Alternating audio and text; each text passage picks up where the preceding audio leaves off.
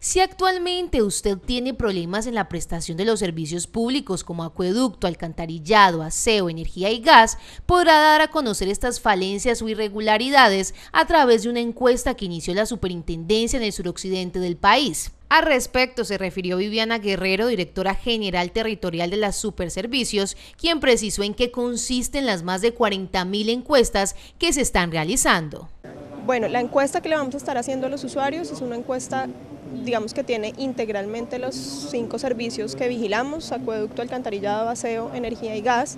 Eh, entonces estamos haciendo una encuesta que tiene niveles de percepción de los usuarios, tiene temas de facturación, eh, tiene temas de calidad y continuidad de los servicios públicos y en ese sentido, eh, con el insumo que, que saquemos de estas encuestas y la percepción de los usuarios de cómo se les está prestando el servicio, más la facturación que estamos viendo en campo, podamos tomar mejores decisiones. De esta forma precisó cómo identificar quiénes serán las personas que realizarán esta encuesta. Además indicó que es la oportunidad de que los usuarios den a conocer las problemáticas que tienen en temas de servicios públicos.